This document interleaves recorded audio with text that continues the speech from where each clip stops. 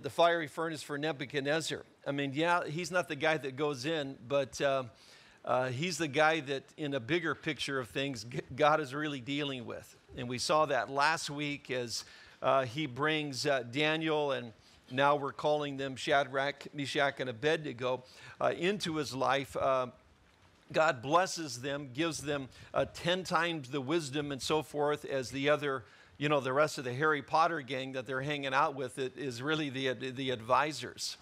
Um, and, uh, and in that, exalting them to a position where they can be a witness uh, to him.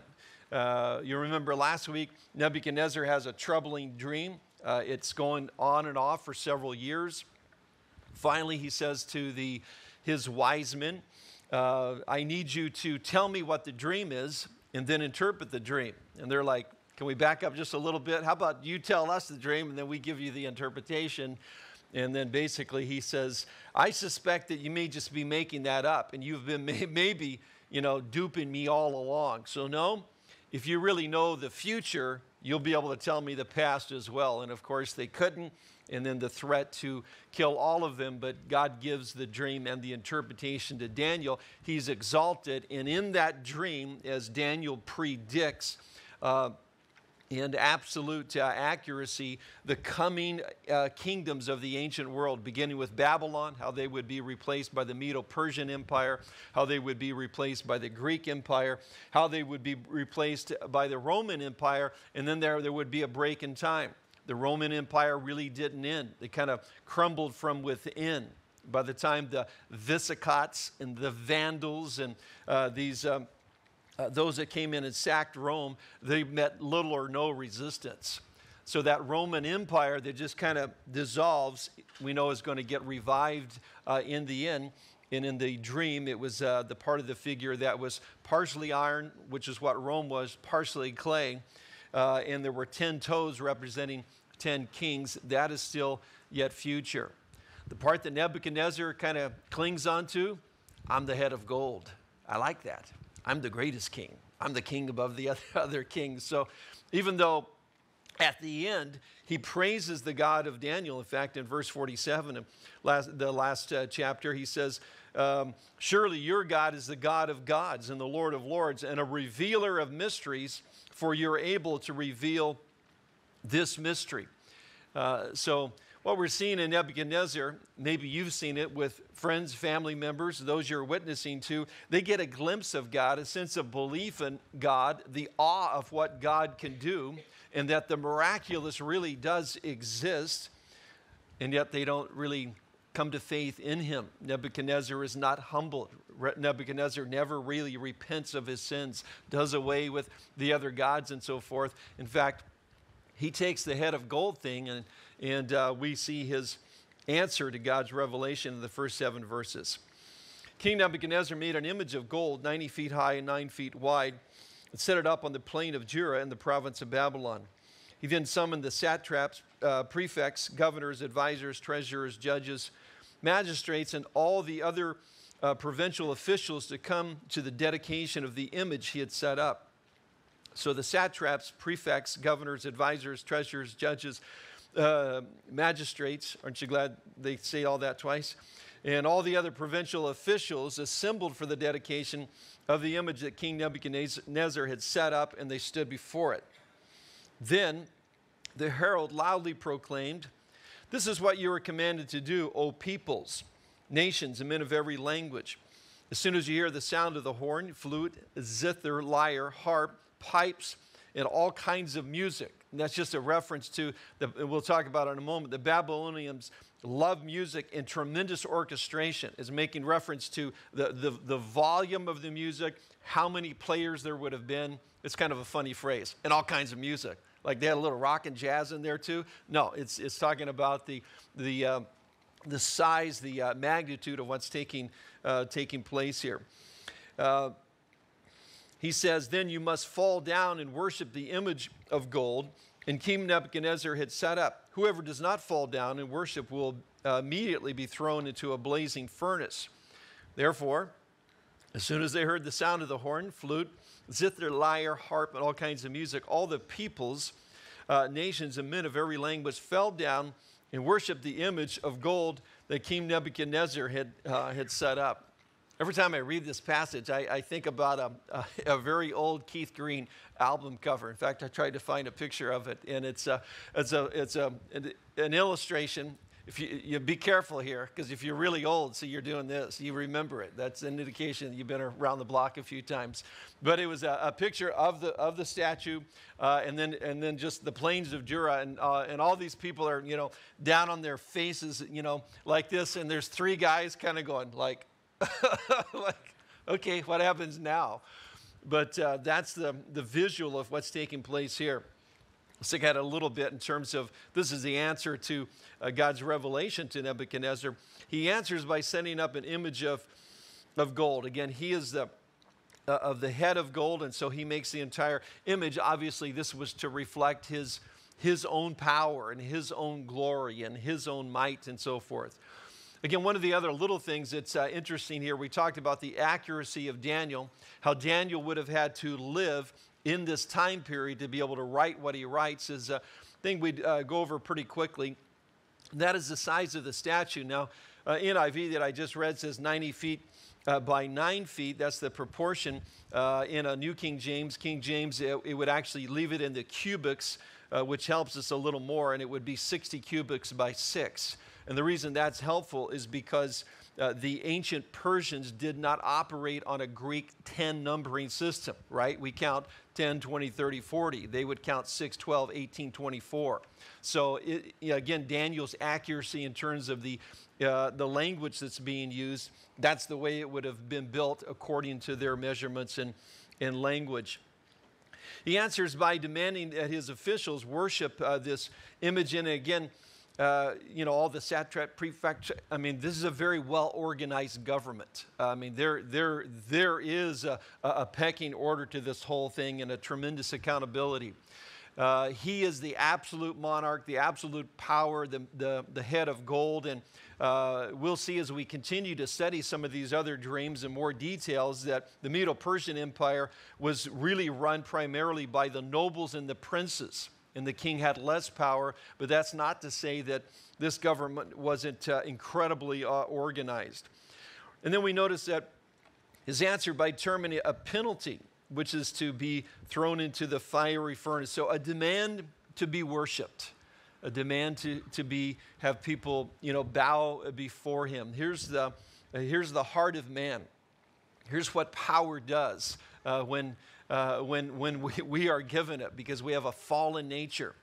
That's why in our own government, which was established by Christians, despite what you might hear in your history classes today, but if you go back and read the original documents and uh, some of their prayer journals that they kept and so forth, uh, they made sure uh, that there was checks and balances because they believed that God created, but something went wrong. There was a fall, and man has a sinful nature. That's why we have a balance of power between the president, the Congress, and the ju- judicial system, because our founding fathers believed what the Bible said. Power is corrupting. Jesus said the only way to escape that power is to be the servant of all. And, uh, and what we see here is Nebuchadnezzar as the head of gold, demanding to be worshiped. Again, the uh, instrumentation involved uh, typical of the Babylonians. They loved uh, their music. Uh, they loved, uh, uh, they had developed and invented. There's only one of these instruments that we're actually even familiar with uh, in terms of a Hebrew look at things. all the others are the invention of the Babylonians themselves. And as I mentioned, that in all kinds of music is speaking about the orchestration of all of this. Now, that lends uh, an interesting back note to uh, Psalm 137 when they go and they capture the, the Jews to bring them into the land. Maybe you're familiar with this, Psalm 137. By the rivers of Babylon, we sat and wept when we remembered Zion. There on the poplars, we hung our harps, for there our captors asked us for songs. Our tormentors demanded songs of joy. They said, Sing us one of the songs of Zion. How can we sing the songs of the Lord while in a foreign land? If I forget you, O Jerusalem, may my right hand forget its skill. May my tongue cling to the roof of my mouth if I do not remember you, if I do not consider Jerusalem my highest joy. Babylonian captors, hey, They're totally into music. We know you guys can sing. Sing for us. How can we sing in a foreign land? Our songs were a song to God, and we're really being punished because of our own wickedness now. How can we sing in this foreign land? Nebuchadnezzar's answer to God's revelation was to set up this image uh, uh of a glory which really declared his independence from God, even though God miraculously intervened. I mean, the guy, I mean, this is incredible. He has a dream, he doesn't tell anyone. Under threat of penalty of death, someone's got to be able to tell him the dream and then interpret it. Daniel's able to do it. He's kind of praising God. I, have seen it several times. I remember uh, a, a, young couple that came in when I was still on staff there at Calvary Honolulu, and uh, their uh, young child, uh, maybe two years old, been diagnosed with, uh, uh, had, had a tumor show up uh, on an MRI and um, diagnosed as cancer and so forth. And we prayed. they were friends of somebody in the church. They weren't believers, but you know, when you're in that situation, yeah, go for anything. Yeah, pray for me, absolutely. So they had brought their child in. We we prayed for her uh, three or four of us, and, um, and they uh, went on their way and they went in and they uh, did another MRI just to, you know, just double check things before they were going to do the surgery and start chemotherapy and so forth. And, and the tumor was gone. God had healed. Boy, they just repented their sins. They got right. No, they didn't. They never even came back again. Their explanation was it all? Well, I guess the doctors misdiagnosed you know, it, it's very interesting, you know, how, you know, you know, we think, we sometimes think, you know, if, you know, my friend, my neighbor, this guy I'm sure, if God would just, you know, move in the miraculous, if he could really see God operate, you know, in his power, you know, I know he would get saved. No, not, not always. Uh, not with Nebuchadnezzar. Uh, not with this couple. I, I, you know, I was kind of naive. I just, I was blown away. You know, I just thought, Come on, it's your kid. God healed him, man. Uh, I'd do anything for the Lord if He did that for my kid. You know, facing cancer with a three-year-old. My goodness. But no, there was a there was another rationale. Nebuchadnezzar. Well, God intervenes. God shows me He's right. I am glorious. I am the greatest. And instead of being humbled, he was uh, he was exalted. And I, have seen it in, in other occasions, in other settings where God moved miraculously but had no impact.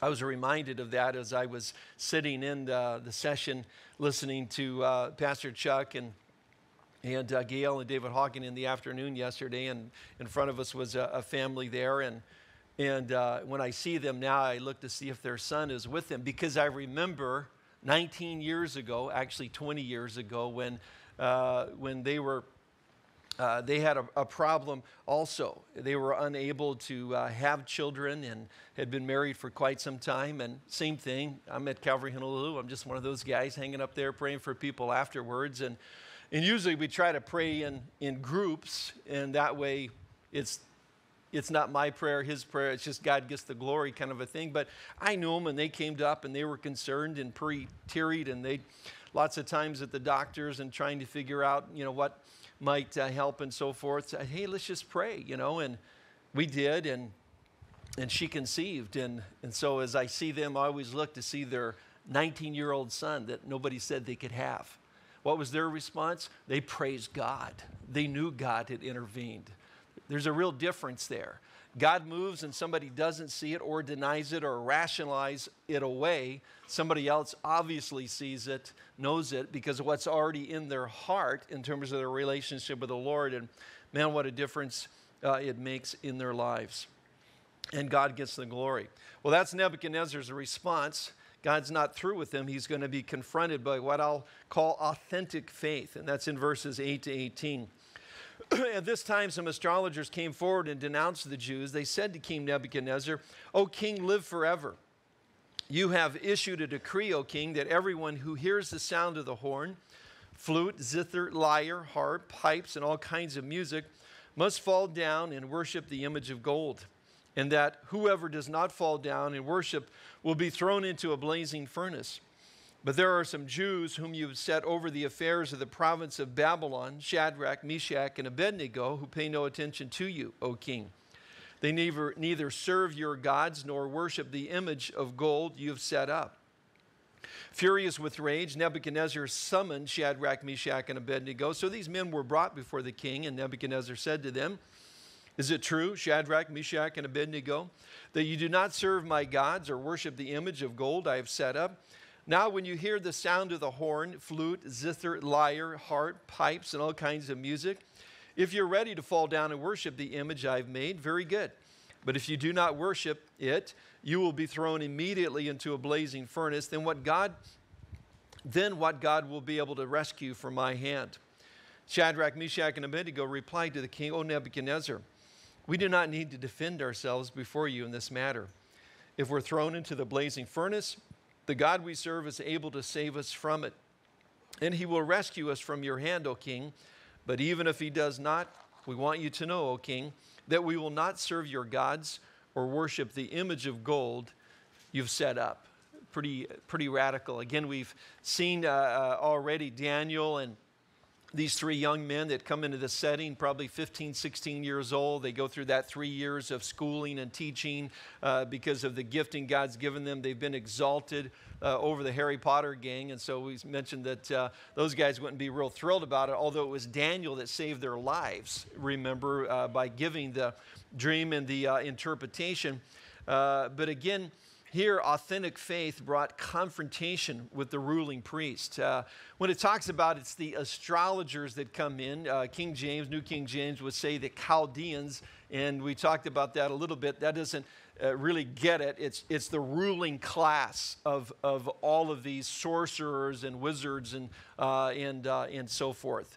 And uh, if you've seen uh, or read the books, uh, uh, The Lord of the Rings, you remember the two towers, you remember the one king that was under the spell of wormwood and so forth. That's what's going on here. It's an attempt to bring him under their powers. And, uh, and God's intervened by putting these four godly young men in his realm of influence to try to prevent that from happening. They're upset. Uh, uh, they've uh, been slighted by what they consider to be three Jewish or four Jewish slaves. Uh, and so when he sets the, the image of gold up and demand it to be worshiped, they know, they know that these guys are not going to worship it. So they go, aha, here's our, our opportunity. And, uh, and yet, uh, when questioned, uh, they refused to, uh, to bow down. And what they were doing then is what we would call, in our vernacular, civil disobedience. Now, they were supposed to submit to the governing authorities. We're supposed to submit to the governing authorities, right? Paul says in Romans 13 1 that, that uh, everyone must submit himself to the governing authorities, for there is no authority that exists except that which God has established. The authorities that exist have been established by God. So it doesn't matter if you're living in communist China or you're, you're living in, uh, you know, in, in a Muslim country or you're living in the United States of America. You're supposed to submit yourself to the governing authorities. Except, except when that authority prevents you from worshiping God or prevents you or would cause you like them to actually worship this idol and go against your faith. Then you've got to submit to the the higher authority. We've got that situation in the book of Acts very early on. The Sanhedrin is called Peter, James, and John in for preaching the gospel.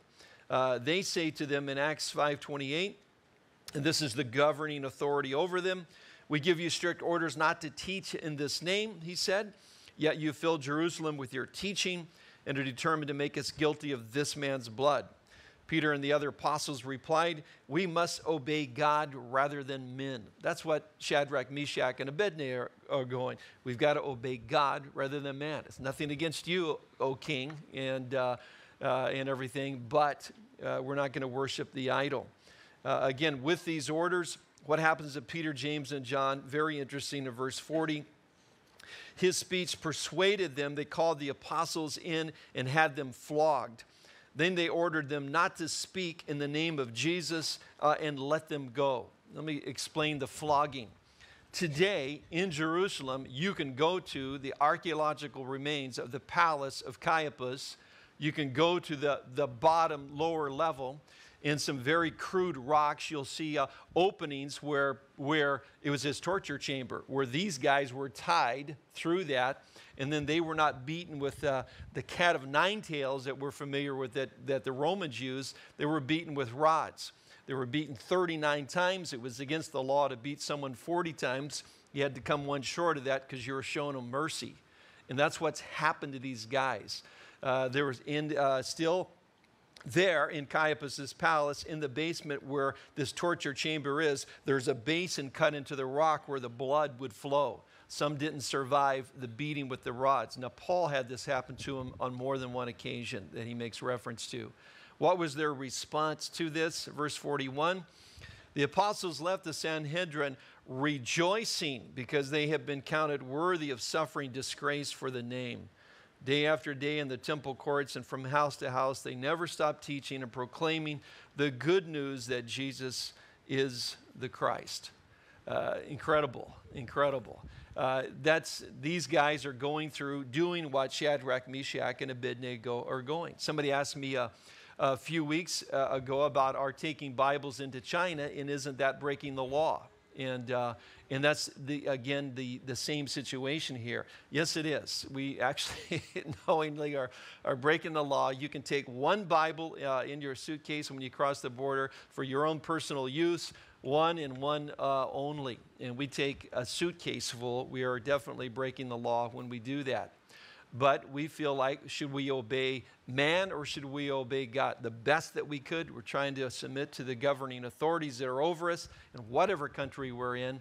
Uh, but again, Jesus has told us to literally take the word into the whole world. And that's what we're doing when we cross that border. So, in that instance, yes, it is civil disobedience in the same way that Shadrach, Meshach, and Abednego did, in the same way that Peter, James, and John did as well. Secondly, uh, authentic faith brought confrontation from an emotional uh, Nebuchadnezzar. Now, we're going to see him fly into a rage here uh, uh in a moment, but uh, again, he begins to question them. Are the charges true? Uh, here's another opportunity. Just bow down to the, the to the music. And, and you won't have to be thrown into the furnace. And then they, they, they refuse.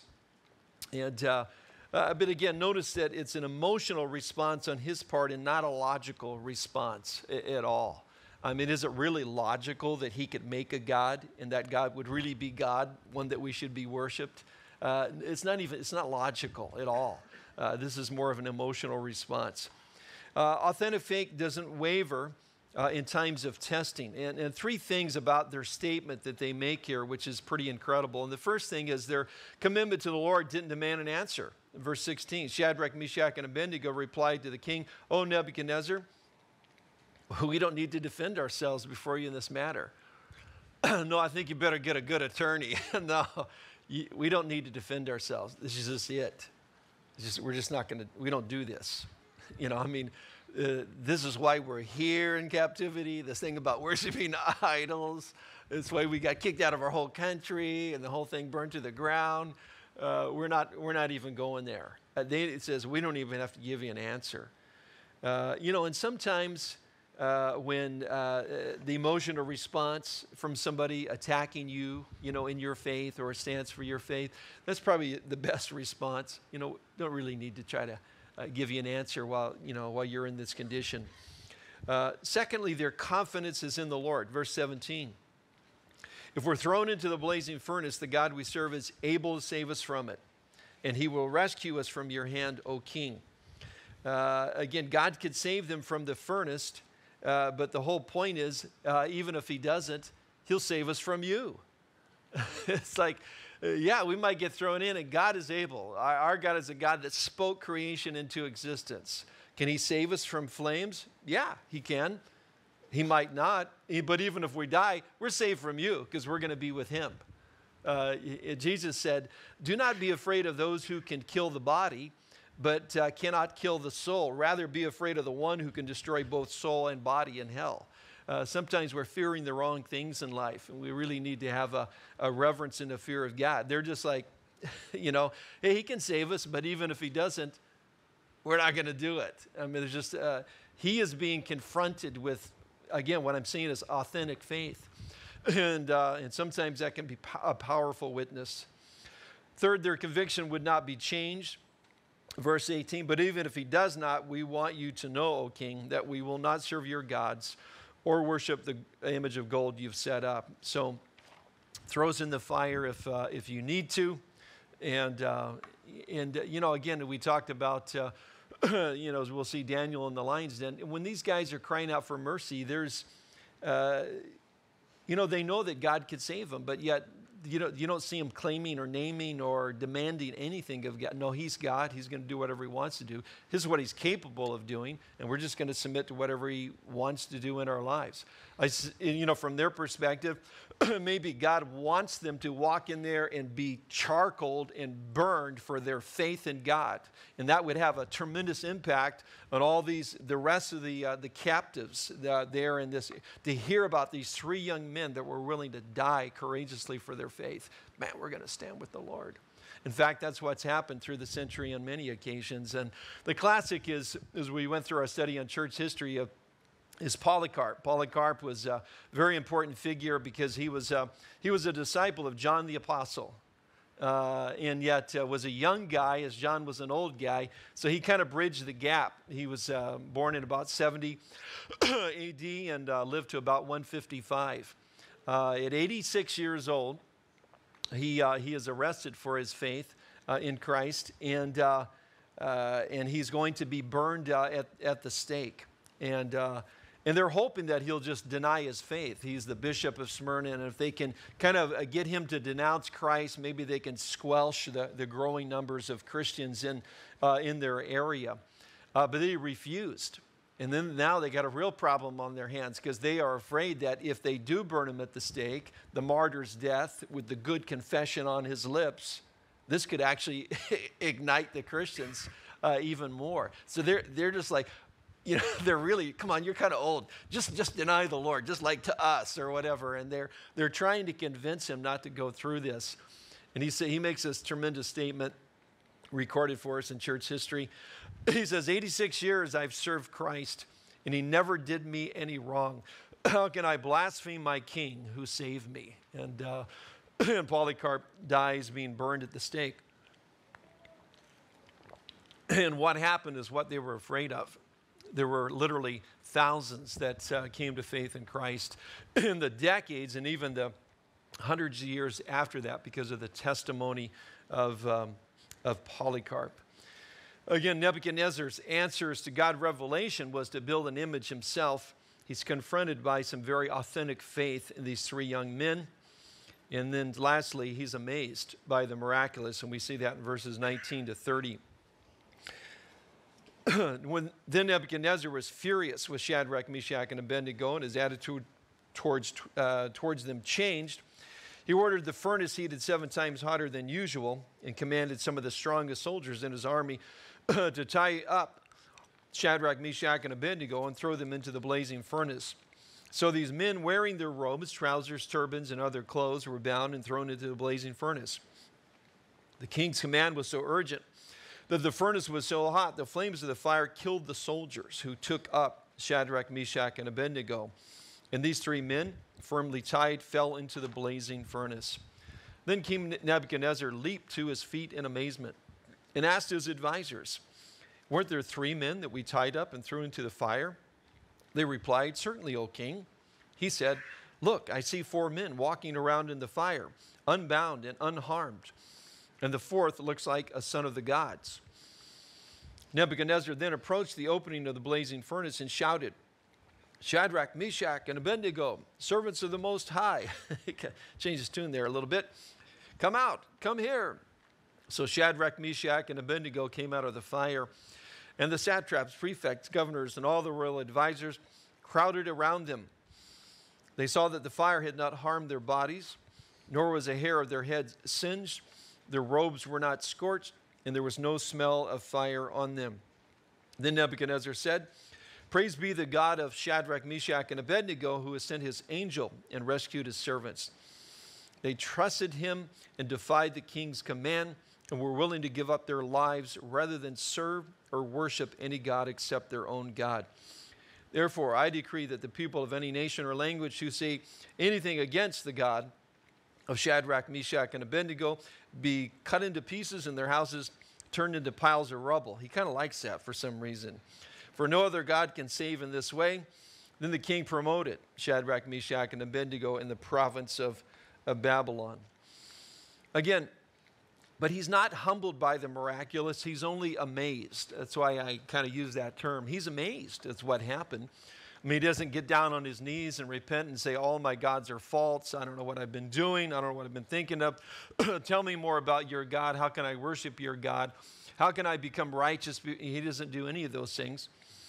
Uh, but we see initially he's quite furious. He changes his uh, attitude. And uh, man, he uh, had to be an intimidating guy. This is the most powerful guy on the planet uh, at the time. Be like standing before Adolf Hitler or something and defying him. and these guys are the Dietrich Bonhoeffers of their, of their day, certainly. Uh, he's so enraged, they heat the thing seven times hotter. It kills the guys that are even taking them uh, up there. And then uh, he's amazed and changes his mind as he sees what he says that four men in in the furnace, and one of them like a, a, son of the, of the gods. And the bottom line is God's with them. God didn't prevent them from going in the furnace, but He went in the furnace with them. Sometimes God, in His graciousness, prevents us from going through fiery trials. But most times he allows us to go through the fire trials, but he goes through with us. And it's a, a, a great illustration of uh, what we experience so often in our own lives as as, uh, as Christians. It's not always easy being a Christian. I, I had to laugh as uh, David Hocking was sharing yesterday. He said he had led a guy to the Lord, and, and uh, six weeks later, the guy called him and said, uh, and said, You know, ever since I've become a Christian, man, I got all kind of problems, man. There's all kinds of things happening. Can you undo this thing? it's not always a bed of roses, but uh, the, the, the difference is the Lord says He'll go through those times uh, with us.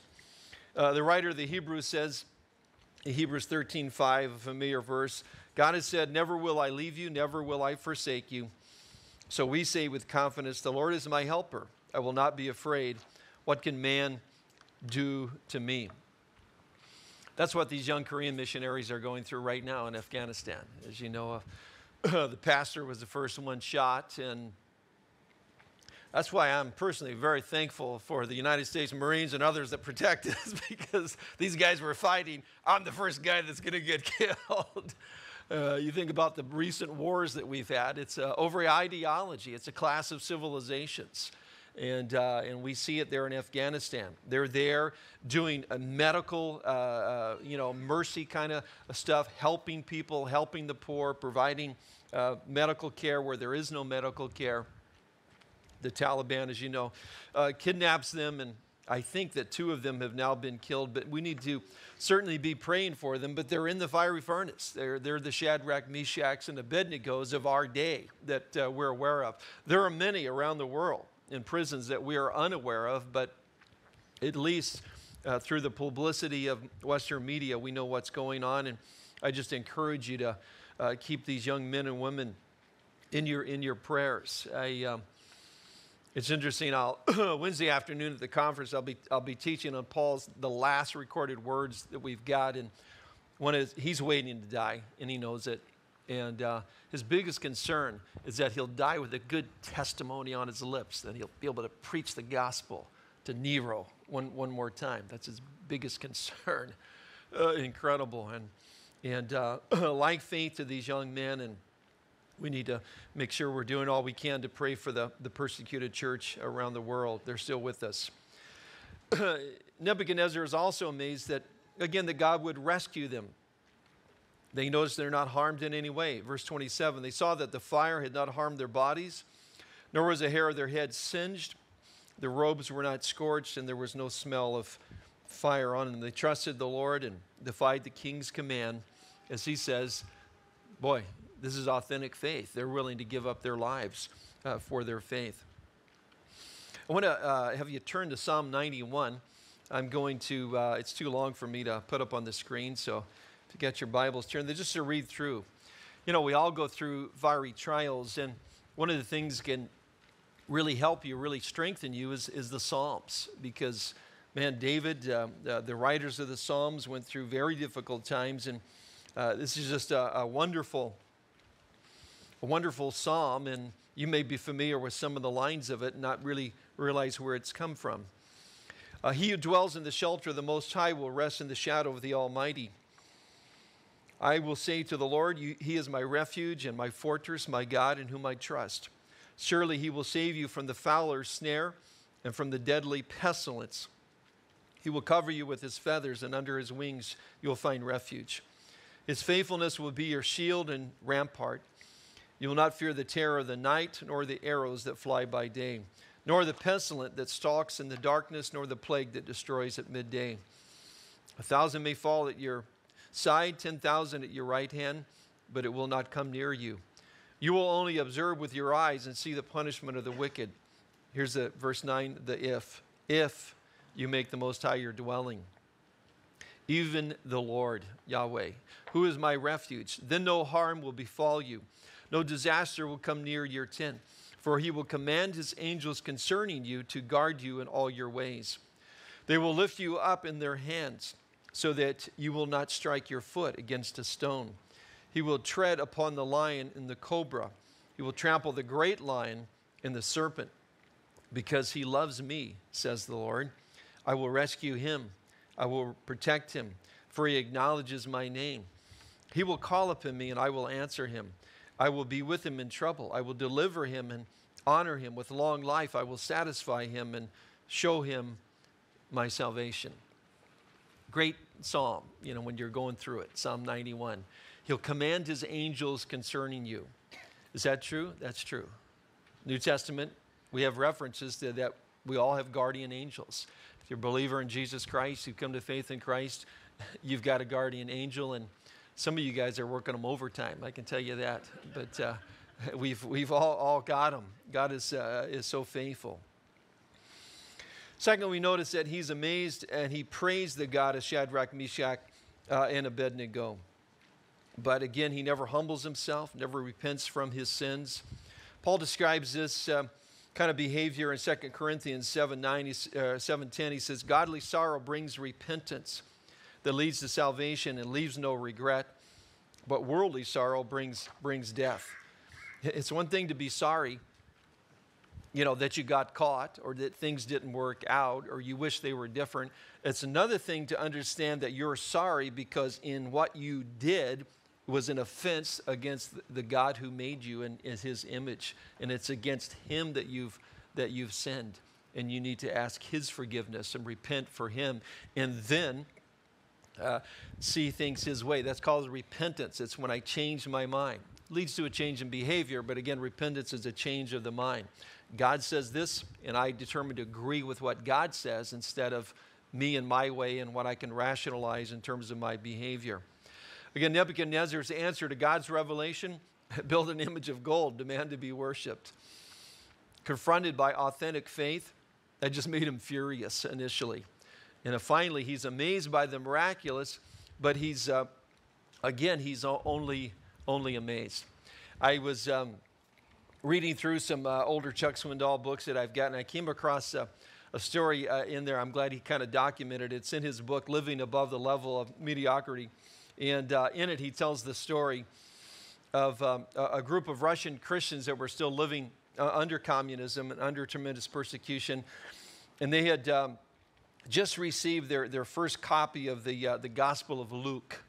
Uh, they just had the Gospel of Luke. And so they divided it up uh, among the families. And the idea was you take it home, I'll take it home, I'll memorize this section. We get back together to worship again, we'll pass it around and we'll keep going and try to memorize the book. They had no way of replicating it. They came back together the next week. They were worshiping, uh, worshiping the Lord. And uh, and in comes uh, uh, two Russian soldiers. And uh, boy, it's, it's silent. And they stand in the front and they, they tell them, um, um, you know, what you're doing is an illegal activity. We're here to enforce the law. But uh, if anyone will leave right now, deny Christ and leave right now, no questions asked, just go out into the night. A couple of them leave. then a few more, and then he says it one more time, a few more, says it one more time, a few more leave, and then finally he says, if that's it, uh, then lock the doors. They lock the doors, and, and then he says this keep your hands up. This time in praise to our Lord Jesus Christ, brothers and sisters. we too are Christians. We were sent to another house church several weeks ago to arrest a group of believers. And then the other soldier interrupts, but instead we were converted. but listen to what he says then. We have learned by experience, however, that unless people are willing to die for their faith, they can't be fully trusted. Kind of puts it on the line. Swindoll goes on in, in his uh, chapter and says, in segments of the world where Bible, Bibles are plentiful and churches are protected, faith can run awfully shallow. Commitment can stay rather lukewarm. We obtain too cheap, we esteem too lightly. It's a good. It's a good story. It's a good story. Go home and tell your kids about Shadrach, Meshach, and Abednego and their tremendous, authentic faith. Uh, at the same time, think about Nebuchadnezzar. I mean, and, and this is the part that's amazing. God doesn't give up on the guy. God doesn't give up on the guy. It's an incredible, incredible story that uh, God would care so much about this ruthless Gentile leader who's persecuting his people, but he refers to them as his servant because he's using them in the process and, and elevates these three or four young men just to try to reach the guy's heart. Uh, he's seen the miraculous and he's been amazed by it, but still not humbled. If we're not humbled before the Lord, I mean, that's part of what salvation is. They have that reverence, that fear of the Lord. Uh, again, cheap grace is, is no grace at all. It was a high price that was paid for our, our salvation. And uh, man, we need to humble ourselves before the Lord and pray for those that are in the fiery trials uh, even now, like those Korean missionaries uh, and others, and, and uh, realize you know, how important it is, our, our faith. And confronted, what would we say? What would we do? And and you might think that, uh, well, I'm not really, really sure, you know, uh, would have I left uh, that uh, setting in Russia and gone out into the night and spared myself? You know, I just totally believe that if you really know the Lord, as Corrie ten Boom says, He'll give you the grace needed in that time uh, to do what you need to do to, uh, you know, to, to represent Christ. And like Paul said, his only concern was, man, that I would just die with that good confession